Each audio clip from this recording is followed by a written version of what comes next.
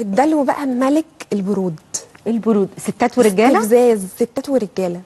يعني خليكي الست بت بتغلي بس من جواها. okay. ما تبينش. الست والراجل بقى الاثنين اللي هو إيه انت عصبتيني فممكن أبص لك بس بصة أخليكي انت اللي تشيطي. يا سلام. انت اللي تتعصبي مش أنا. حتى لو أنا جوايا متضايق. بس بمنتهى الهدوء. وبمنتهى مش سهل إن هو يتعصب هو صبور وبيستحمل كتير مش سهل إن هو يتعصب. بس لما بيوصل لدرجة العصبية بقى ما خلاص ما حدش بيقف قدامه. بس دي ما بيوصلهاش بسهولة يعني بيستحمل كتير ولما بيوصل لها بقى خلاص.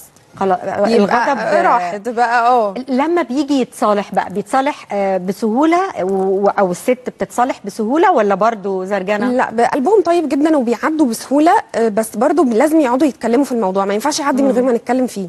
أوكي. يعني مش من النوع اللي هو ما تزعلش طب خلاص حصل خير. لا نقعد نتكلم ونتعاتب طيب عشان نتصافى. ال-